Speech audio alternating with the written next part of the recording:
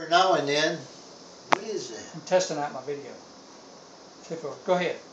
Uh, when he leave his motorcycle out there, I just decided I'd try it out, jump on it. Coming up from the shop, I'd jump on a motorcycle and I'd take a little spin, you know. And I'd done that for a couple of weeks there, you know. This one day, Whomper was out there. He was only four years old. He said, Dad, can I ride along? I uh, yeah, I, I guess. I'd just go down down the lower part of aisle without getting on the highway and come back. So he was on there.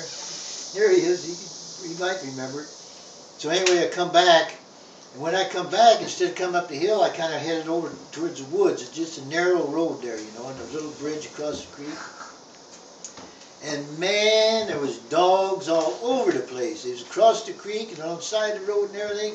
Man, he coming out charging at me. About every kind of dog you could think of. All big ones too. Down here? Yeah. Yeah. Can you remember that? On that motorcycle? On that motorcycle. See, he does remember. Yeah, I, I couldn't forget that one. Ooh, man.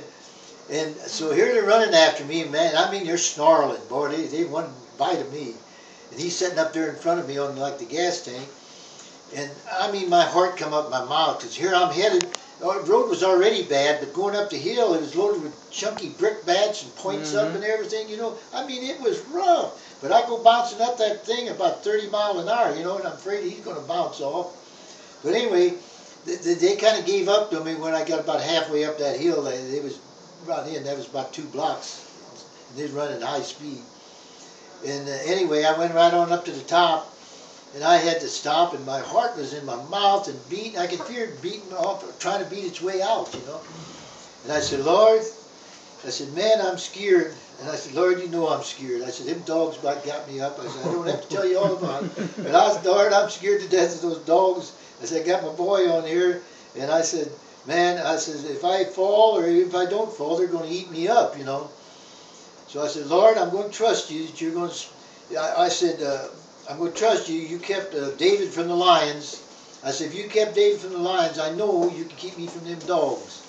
And I, I, I kind of calmed down myself and I said, Lord, I'm going to believe you're going to protect me. So I cranked the motorcycle back up and I'm coming down through there. I said, Lord, I'm dependent on you now.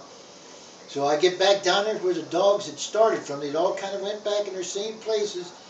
And them dogs, Bobby, was laying on the sides of the road. Instead of snarling, they was like smiling. they were really smiling. Their lip was up like smiling, like like the Lord had laid her hand on him, saying, "You don't bother this guy. Just give him a nice welcome or something, you know." And not one dog got up, not one dog chased me, and I just come rolling through there nice and easy, you know. Then I thought of that scripture in the Bible where those ten lepers was healed, and only one of them came back to thank the Lord.